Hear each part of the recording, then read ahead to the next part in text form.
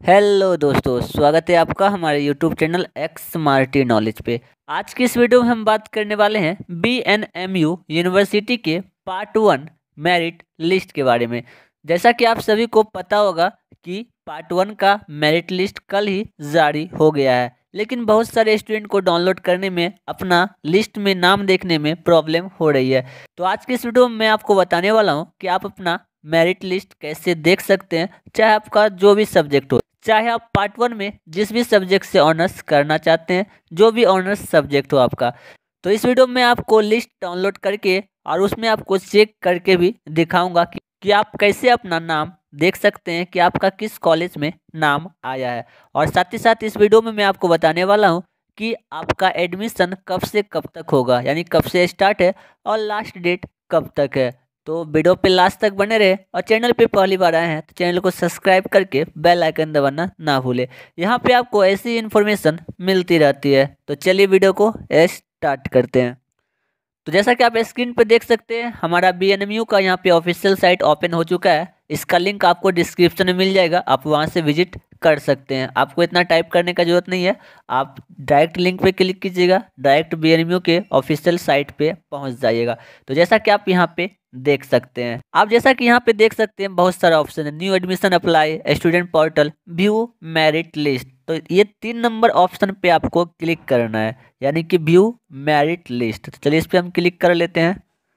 Click करने के बाद आपको एक न्यू पेज ओपन होगा। जैसा कि आप यहाँ पे देख सकते हैं मेरिट लिस्ट ठीक है? और यहाँ पे आपको क्या क्या टाइप करना है, वो आपको यहाँ पे समझना है। सबसे पहले क्या है? एकेडमिक सेशन ठीक है?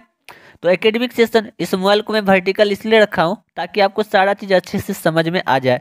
क्योंकि यहाँ पे मैं आपको मोबाइल से बताने वाला हूँ कि आप अपना मोबाइल से कैसे मेरिट लिस्ट चेक कर सकते हैं। इसलिए हमने इसे वर्टिकल में रखा है।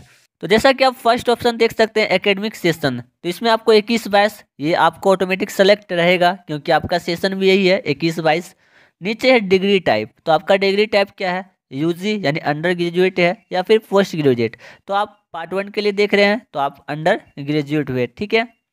उसके बाद है डिग्री तो डिग्री पे आपको क्लिक करना है तो आपका जो भी है बीए हो बीकॉम हो, या फिर बीएससी यानी कि आप जो भी स्ट्रीम से चाहे आप आर्ट्स रखे हो कॉमर्स रखे हो, या फिर साइंस रखे हो, जो भी आपका स्ट्रीम हो, उस पर आप क्लिक कर दीजिए।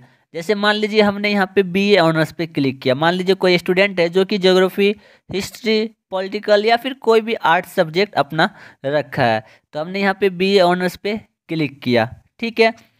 तो जैसा कि आप देख सकते हैं यहाँ पे जितने भी ऑनर्स में सब्जेक्ट होते हैं, यानी कि सारे सब्जेक्ट यहाँ पे दिखा दिए हैं। तो आपको नीचे सब्जेक्ट पे क्लिक करना है। तो जैसा कि आप देख सकते हैं यहाँ पे बहुत सारा सब्जेक्ट है। Arabic, Bangla economics English geography Hindi history home science तो आपका जो भी सब्जेक्ट है, मान लीजिए इस स्टूडेंट का पॉलिटिकल साइंस है तो यहाँ पे हम चेक कर लेते हैं पॉलिटिकल साइंस कहाँ पे है तो पॉलिटिकल साइंस पे हमको क्लिक करना होगा। तो चलिए देख लेते हैं। तो आप यहाँ पे देख सकते हैं पॉलिटिकल साइंस का ऑप्शन हमें मिल चुका है। तो यहाँ पे आप देख सकते हैं पॉलिटिकल साइंस का ये जो है, हमारा यहाँ पे ओपन हो चुका है। आप यहाँ पे देख सकते हैं पॉलिटिकल साइंस का जो है यहाँ पे हमारा ओपन हो चुका है लिस्ट तो हमको क्लिक कहाँ पे करना है? तो यहाँ पे आप देख सकते हैं डाउनलोड का एक यहाँ पे सेक्शन बना हुआ है, ठीक है? इस पर आपको क्लिक करना होगा। तो ठीक है, हम डाउनलोड पे क्लिक कर दिए हैं। तो देखिए, यहाँ पे हमारा डाउनलोड का ऑप्शन आ गया है, इसे हम डाउनलोड कर लेते हैं, ठीक है? तो डाउनलोड हमारा हो चुका है, आप यहाँ पे हम चेक कर लेते हैं डाउनलोड सेक्शन में हमारा। तो ये देखिए, हमारा यहाँ पे ओपन हो चुका है। इसे ओपन कर लेते हैं। तो ये देखिए हमारा यहाँ पे, जैसा कि आप देख सकते हैं B A honours political science B N Mandal पर लिखा हुआ है, ये हमारा यहाँ पे ओपन लिस्ट हो चुका है। अब आपको चेक करना कैसे है? तो आप देखिए यहाँ पे सर्च का ऑप्शन है। आप अपना नाम दे के भी चेक कर सकते हैं। आपका जो नाम है, ठीक है? अपना नाम दीजिएगा, आगे डेट ऑफ़ बर्थ होगा, आपका कैटेगरी होगा। उससे आप पता कर सकते हैं आपका किस कॉलेज में नाम आया है। या फिर सबसे आसान तरीका है, आप जो फॉर्म अप्लाई किए होंगे तो उस समय आपको रिसिप्ट मिला होगा। जैसा कि आप यहाँ पे देख सकते हैं, मैं आपको दिखा देता हूँ, ये वाला। ये वाला आपको मिला होगा, ठीक है? कैंडिडेट अप्लीकेशन फॉर्म तो यहाँ पे आप सबसे ऊपर में ही आपको मिलेगा अप्लाई आईडी ठीक है? अप्लाई आईडी आपका जो भी है, आपको यहाँ पे फाइंड यानी कि यहाँ पे सर्च का जो ऑप्शन है, इस पे दे देना है। तो चलिए हम यहाँ पे दे के आपको दिखा देते हैं। तो B two one, U, five, seven seven seven, eight, one. ये लिख के आपको सर्च यहाँ पे कर देना है। तो आप यहाँ पे देख सकते हैं, रेड नंबर यहाँ पे देख सकते हैं। ये, इसका जो ये अप्लाई आई है, यहाँ पे रेड हो चुका है। यानी कि इस स्टूडेंट का ही है अमित कुमार, इसका नाम है डेट ऑफ़ बर्थ यहाँ पे दिया हुआ है, और यहाँ पे आप देख सकते हैं इसका किस कॉलेज में हुआ है। तो एल कॉलेज बनगांव, सहरसा, आप यहाँ देख सकते हैं। इस स्टूडेंट का यहाँ पे नाम आया है। अब बात रही कि लास्ट डेट कब तक है, और कब से एडमिशन स्टार्ट है। तो इस पर भी हम बात कर लेते हैं। तो यहाँ पे आप देख सकते हैं, थोड़ा सा बैक हो जाते हैं हम।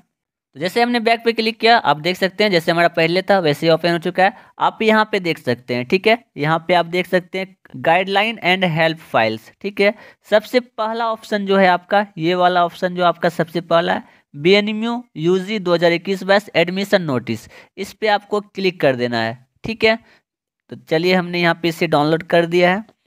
अब इसे हम ओपन कर लेते हैं। हमारा यहाँ पे ओपन हो चुका है, ठीक है? तो आप यहाँ देख सकते हैं, ये नोटिस किसका है? बी एन मंडल के द्वारा निकाला गया है, जो कि दो तारीख के डेट में निकाला गया है। जैसा कि मैंने आपको पहले बताया, कल ही की डेट में ये मेरिट लिस्ट जारी हुआ है।